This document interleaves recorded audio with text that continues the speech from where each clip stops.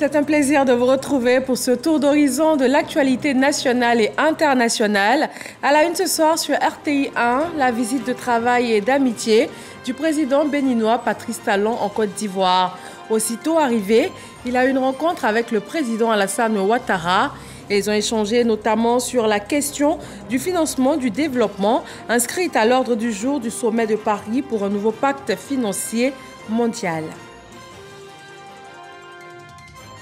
Sept projets de loi examinés et adoptés par l'Assemblée nationale. Ils portent entre autres sur l'hygiène et la salubrité, l'eau potable, le statut du corps diplomatique ou encore le statut de la fonction publique.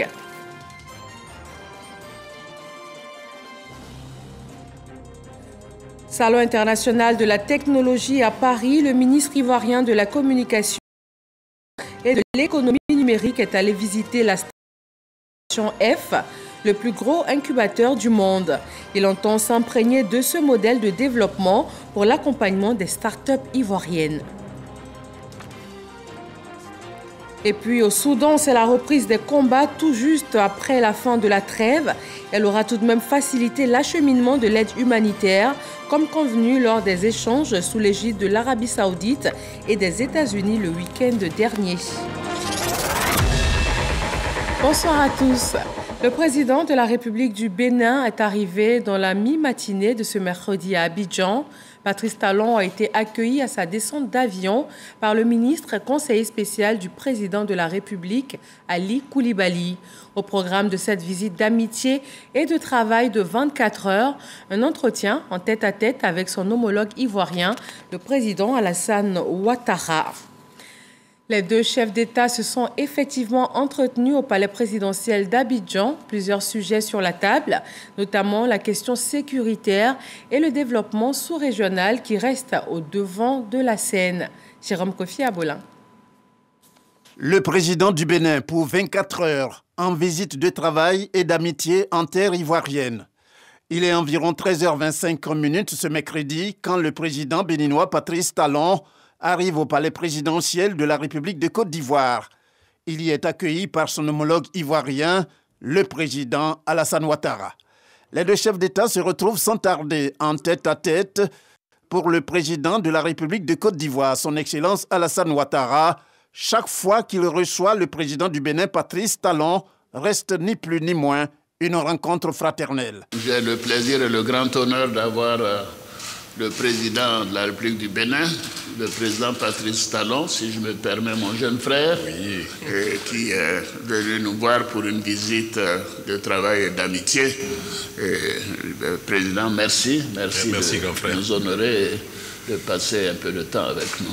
Le président du Bénin, pour sa part, fait savoir qu'il est tout à fait important de venir échanger avec le président Alassane Ouattara sur les sujets d'intérêt commun et profiter ainsi de la légendaire hospitalité ivoirienne avant de se rendre au sommet sur le financement en France. C'est toujours avec euh, bonheur et honneur que je viens ici en Côte d'Ivoire.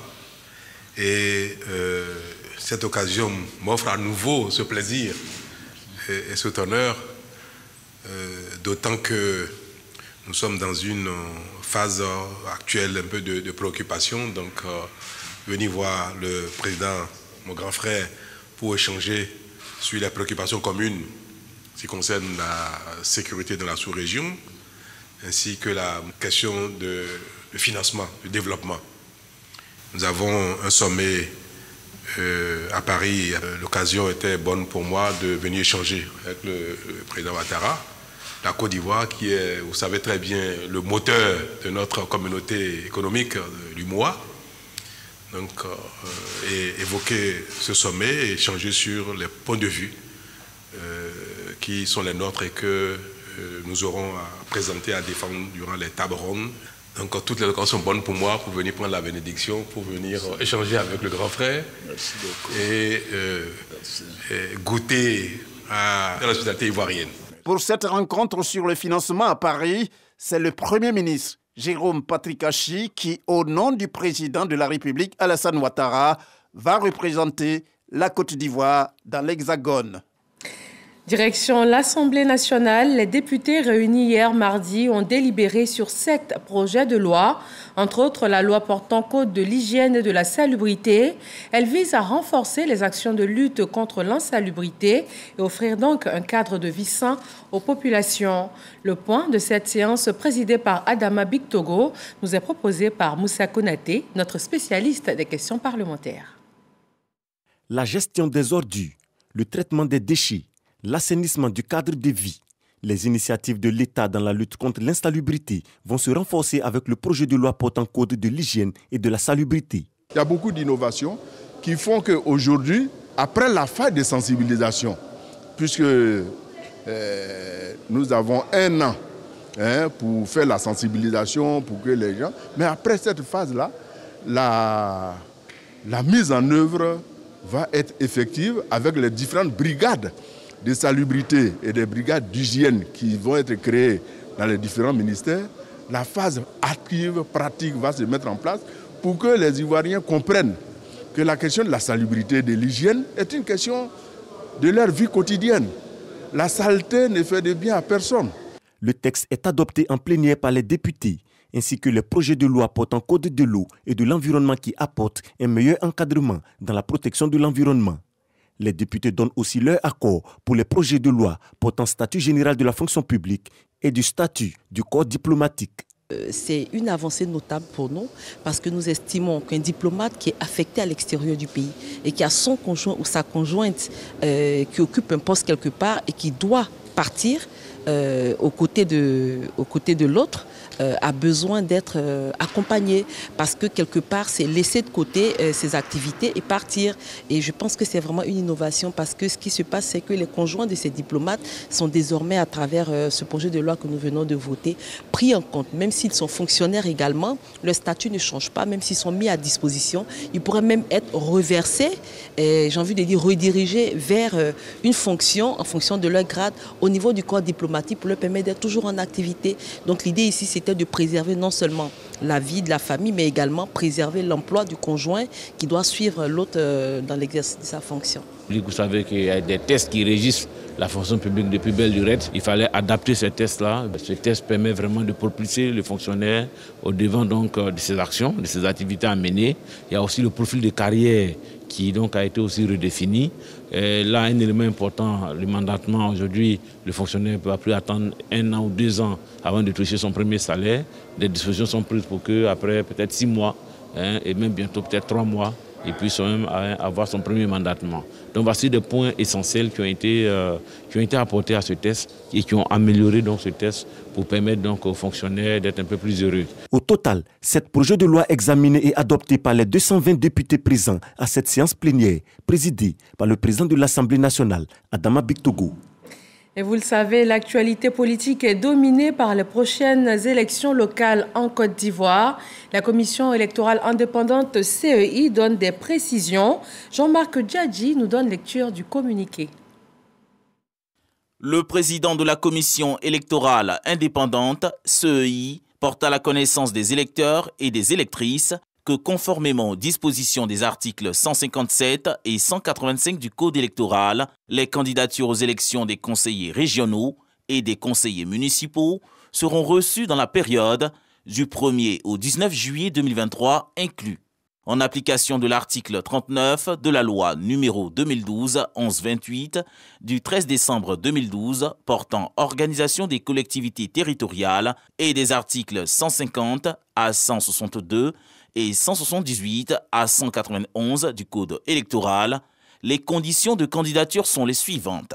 Être âgé de 25 ans au moins, être ivoirien de naissance ou avoir été naturalisé depuis au moins 10 ans, être inscrit sur la liste électorale de la circonscription choisie et résider effectivement sous les réserves prévues par les articles 151 al 2 et 179 al 2 ne pas être dans l'un des cas d'inéligibilité prévus par les articles 152 à 154 et 180 à 182 du Code électoral.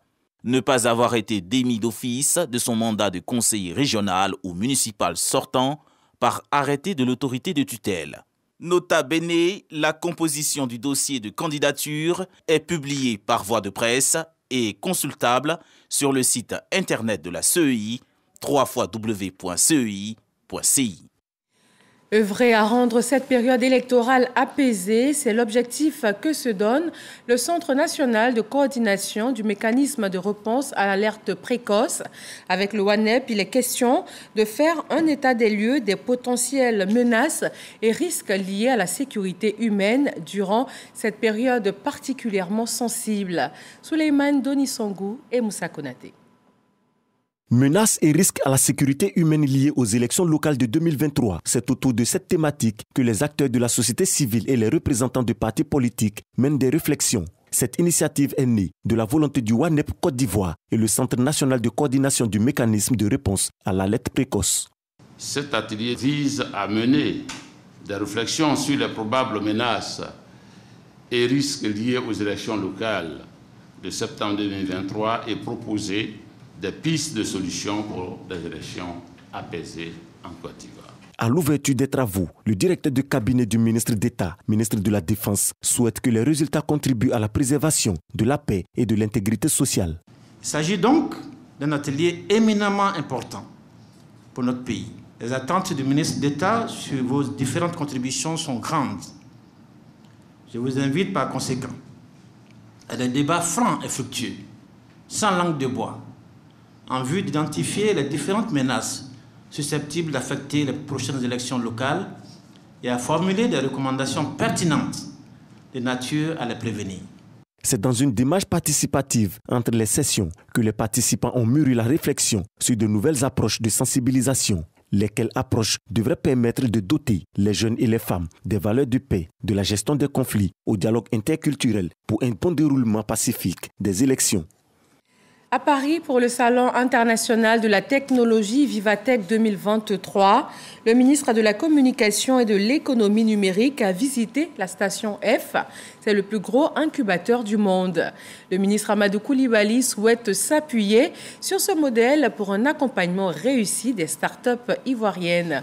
Envoyé spécial à Paris, Walter Amadou Ouattara espace de coworking et d'accompagnement pour les startups, Station F est connu comme le plus grand incubateur du monde. Sa vision dynamique permet aux jeunes pousses de bénéficier d'un environnement de travail flexible et de services de qualité tout en leur offrant la possibilité de se connecter à d'autres entreprises et entrepreneurs. Cet incubateur accueille plus de 1000 startups. Son existence est la matérialisation du symbole de l'écosystème d'innovation en France. Et au sein de cet euh, écosystème, nous avons vraiment une alliance entre des académiques, des grands groupes, des acteurs gouvernementaux.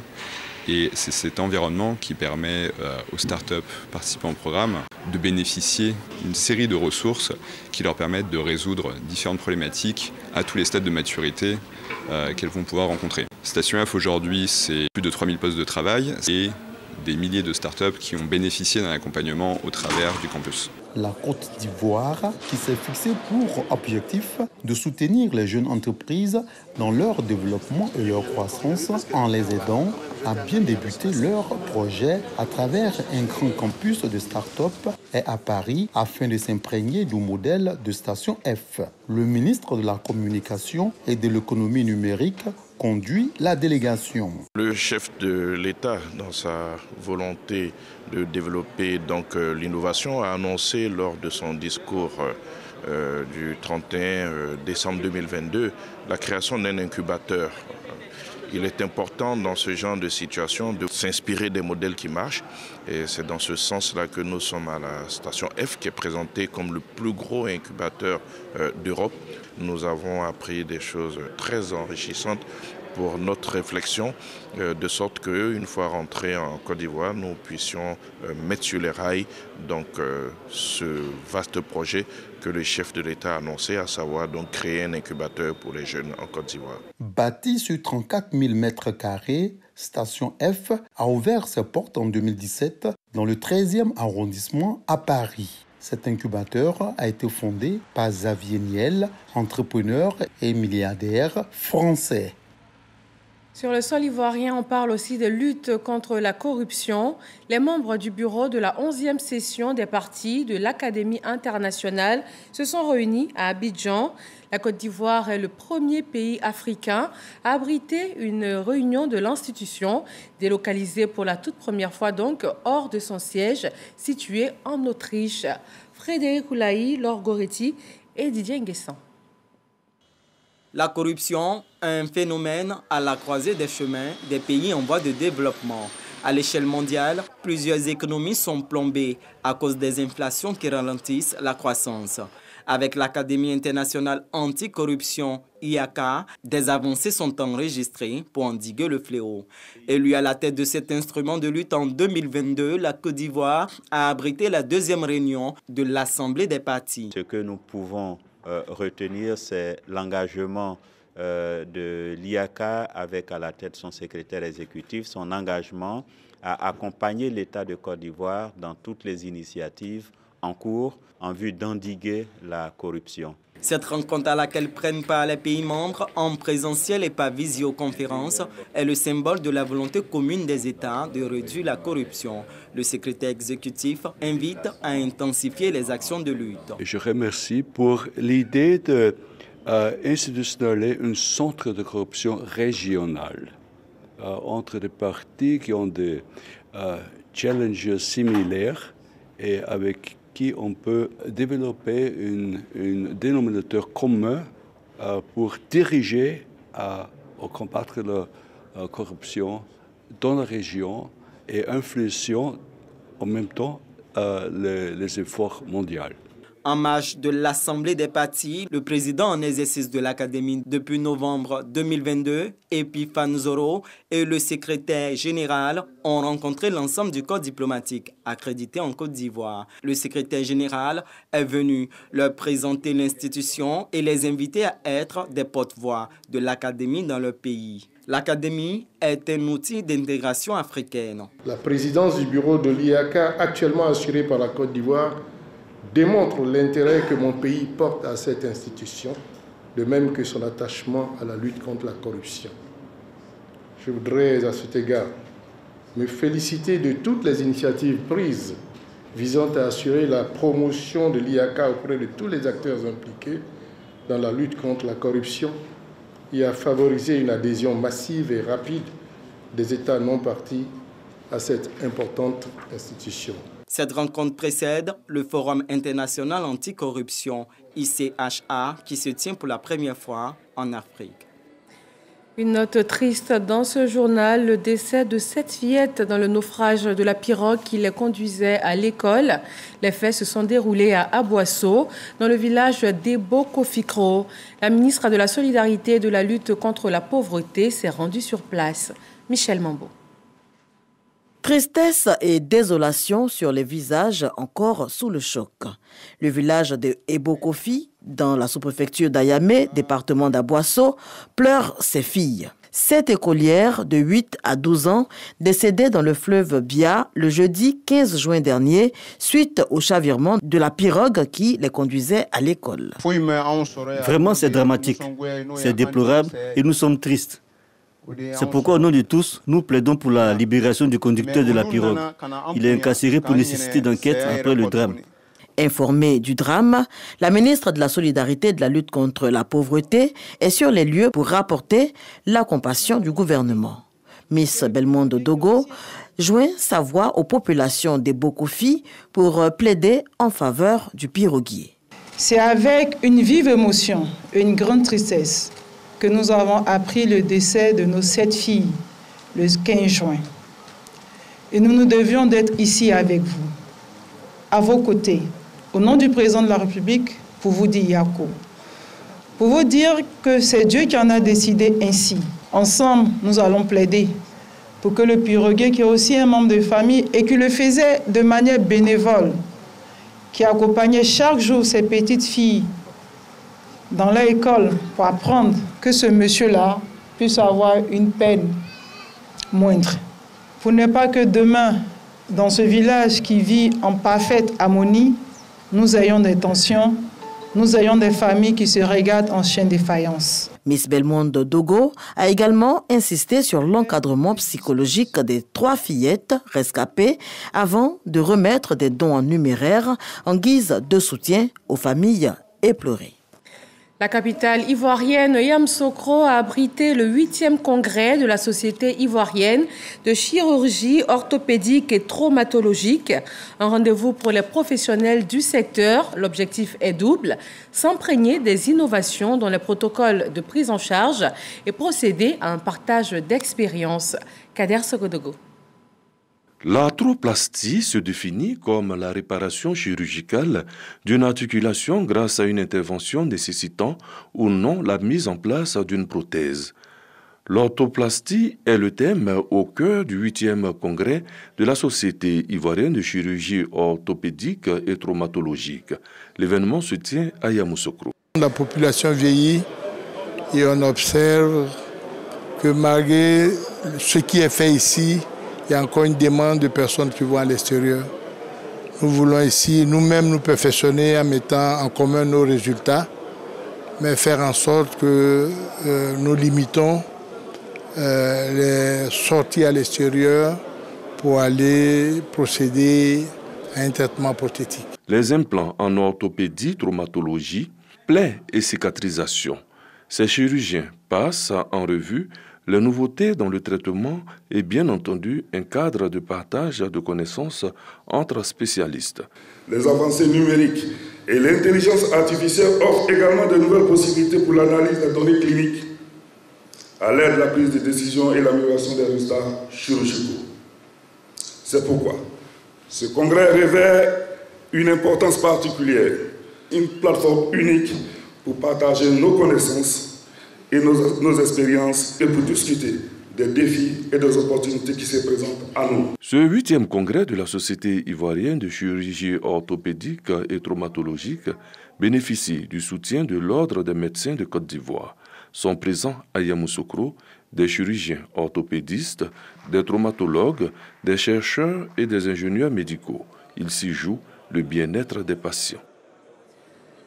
En sport taekwondo, la moisson a été bonne pour la Côte d'Ivoire. Sissé Sheikh Salah et Ruth Bagby rentrent d'Azerbaïdjan avec respectivement une médaille d'or et une médaille de bronze. Les deux athlètes ivoiriens ont été reçus par le ministre des Sports, Arsène Kwasi. Après avoir honoré la Côte d'Ivoire au récent championnat du monde de taekwondo, sanctionné par une médaille d'or et de bronze, ces chèques et Bagburut ont été reçus par le ministre des Sports, Paulin Claude Danhou. Au nom du gouvernement, conduit et dirigé par le Premier ministre Jérôme Patrick Kachi, je voudrais vous dire euh, honneur et hommage à Sissé Cheikh Salah. Encouragement et félicitations à Babirut. Grâce à vous, dans le ciel euh, de Bakou a flotté le drapeau de la Côte d'Ivoire. Visiblement ému par cette marque d'attention, le président de la Fédération ivoirienne de taekwondo ainsi que les champions ivoiriens expriment leur gratitude aux autorités ivoiriennes. C'est avec votre concours et c'est le concours du président de la République qui nous assistent et qui nous permettent de réaliser ces différentes performances. Sachez que vous pouvez compter sur nous et rassurez-vous, nous serons toujours à disposition non seulement de votre ministère, mais aussi de la Côte d'Ivoire. J'aimerais vraiment vous remercier parce que vous n'avez jamais hésité à euh, mettre les moyens en place pour que le taekwondo puisse voyager afin qu'on puisse avoir ces médailles. Donc c'est pour dire que tous ces jeunes-là, ils peuvent arriver où ils veulent mais seulement avec le travail. Grâce à cette médaille d'or remportée par Sissi Chek, la Côte d'Ivoire termine cinquième chez les hommes au classement général. Et avec le soutien du premier responsable du sport ivoirien, Chek et Gbagbirut repartent confiants avec l'ambition de rapporter plus de lauriers lors des prochaines échéances internationales afin d'améliorer leur ranking mondial en vue des qualificatifs des Jeux olympiques de Paris 2024.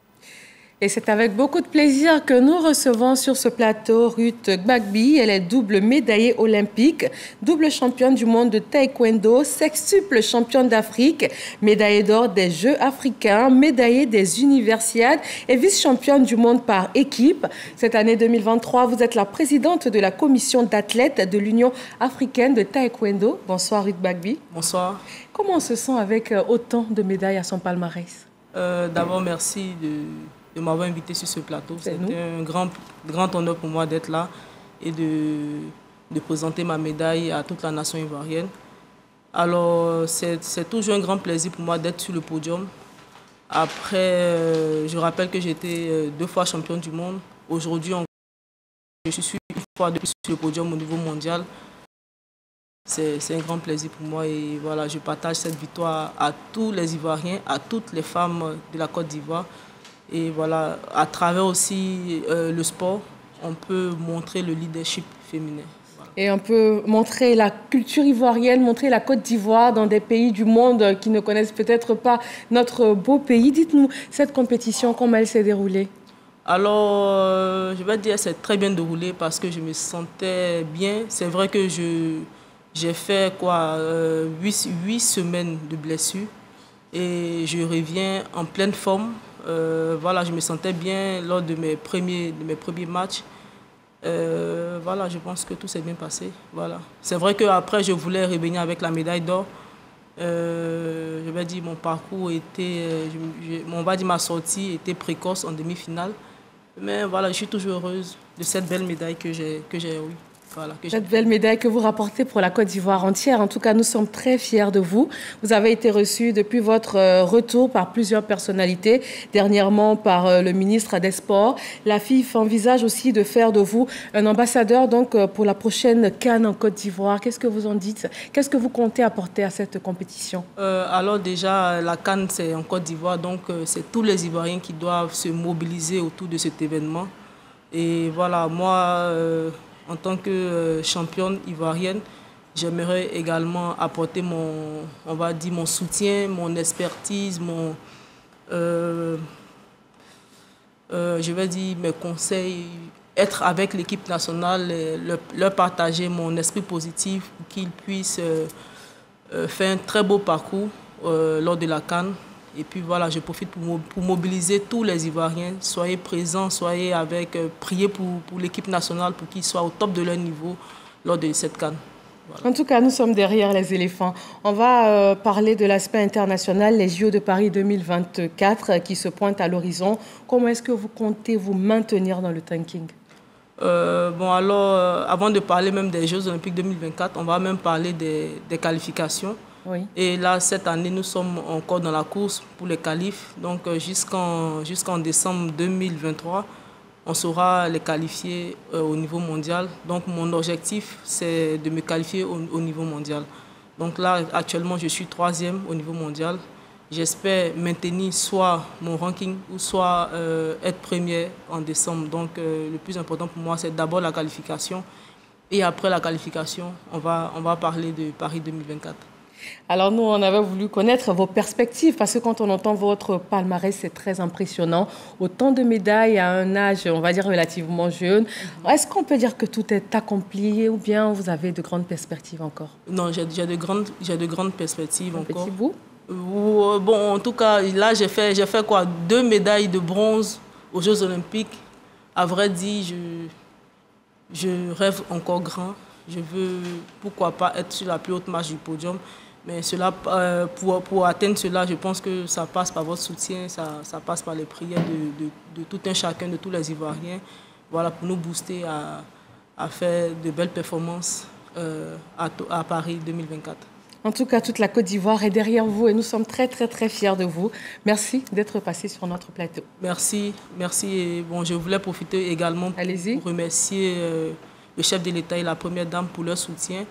Et aussi, euh, j'aimerais euh, remercier le président de la fédération, Jean-Marc Yassé, pour, ses efforts au sein de la fédération. C'est vrai que ce n'est pas facile, il y a beaucoup de difficultés qu'il rencontre, mais il est, il est dévoué à ce que euh, voilà, le taekwondo soit toujours au sommet voilà, au niveau mondial. Voilà, je vous remercie. Merci Ruth Gbagbi. On poursuit ce journal avec l'actualité politique à Tekoubé. On dresse le bilan des projets de développement initiés par le gouvernement. Les populations de la commune ont également fait le point de leurs besoins. Elles se félicitent tout de même de l'action du président Alassane Ouattara. Grâce Kando. La coordination action des cinq villages de la commune d'Atekoubé pour le développement, reconnaissante au président de la République Alassane Ouattara, à travers le député maire Paulin Claude Danhaut, par ailleurs ministre des Sports.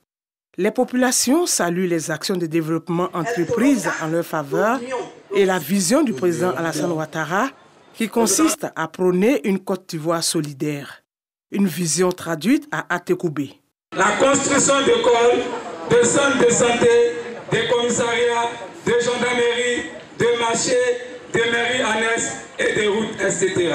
On ne sait pas faire de distinction entre les chrétiens et les musulmans, entre les prières et les doulas, entre les baoulés et les gros.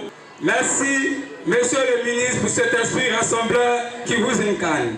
Nous savons que les femmes Tchang seront nombreuses à être retenues dans le financement des projets à travers le fonds de garantie mis à la disposition des femmes Tatekoubé par vous. Au ministre Paulin Claude Danho de témoigner sa gratitude au président de la République Alassane Ouattara pour son soutien quant à la réalisation des projets de la commune. Grâce à vos prières, grâce à vos soutiens, voilà qu'il a plu à son Excellence M. Alassane Ouattara, président de la République de Côte d'Ivoire, de venir choisir votre fils pour en faire le ministre en charge des sports. Merci pour ce qu'il a fait pour nous et qui nous permet aujourd'hui d'apporter beaucoup de choses dans notre modeste cité d'Atekoubé. à Lokodiro, en passant par santé, nous devons rattraper beaucoup de choses pour apporter là-bas aussi le développement pour apporter le bien-être. Et nous le ferons avec la grâce de Dieu cette année même. Le député maire Paulin Claude Danho entend dans les prochains jours entreprendre des rencontres avec les différentes couches sociales de la commune d'Atekoubé en vue de les sensibiliser sur les valeurs de paix, d'amour et de cohésion sociale. Le Tchologo, on parle également de paix et on célèbre aussi le progrès et le développement. Les avancées sont notables dans les différentes localités. De nombreux projets sont encore en cours pour les jeunes, pour les femmes et également en termes d'infrastructures. Kader Sagodogo. Kumbala. Le peuple palaka est mobilisé pour rendre hommage au président de la République qui a su impulser le développement dans ce canton de la région du Tchologo. Infrastructures de tout genre, promotion humaine. Le canton Palaka est reconnaissant à Alassane Ouattara.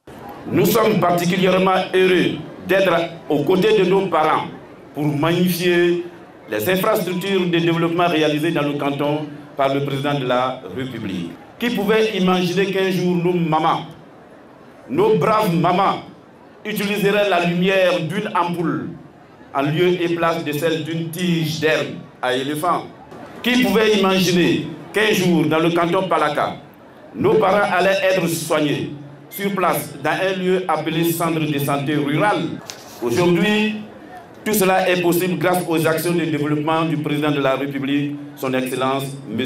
Alassane Ouattara.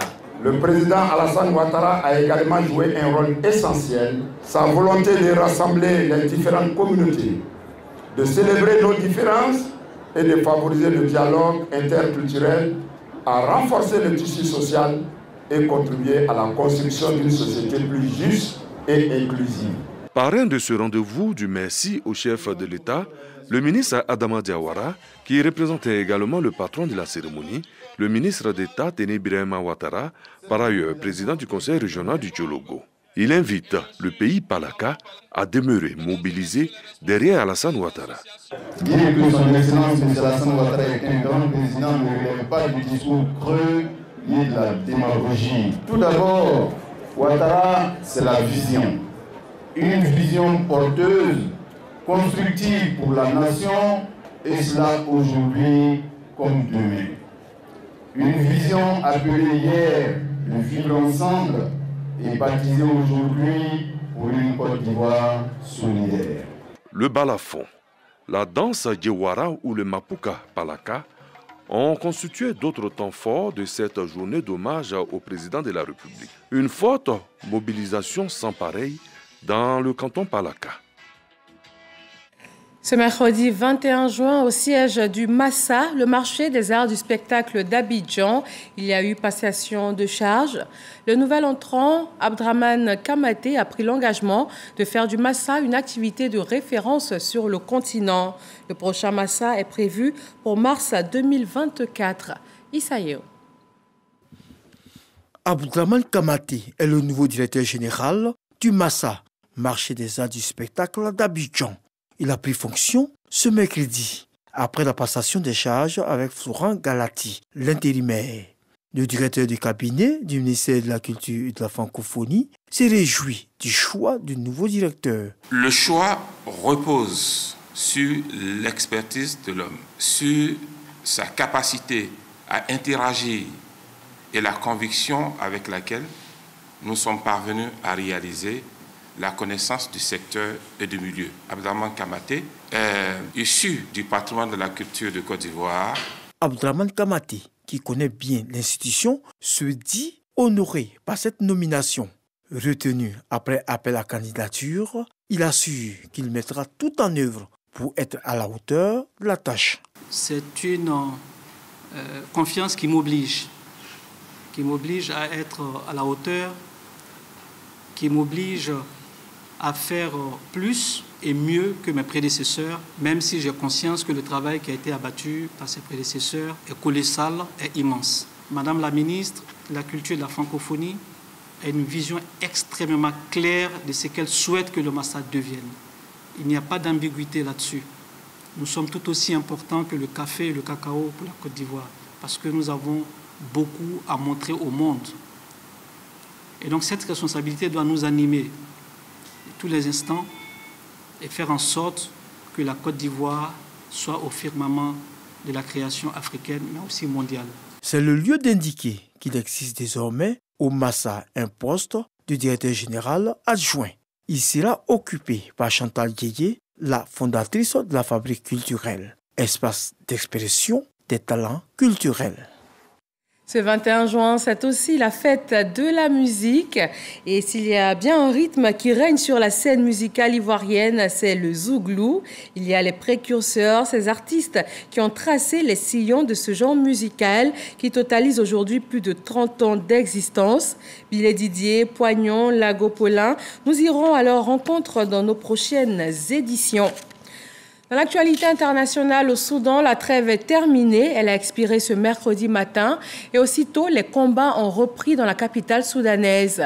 Le cessez-le-feu avait connu de nombreuses violations dont les deux belligérants se sont mutuellement accusés.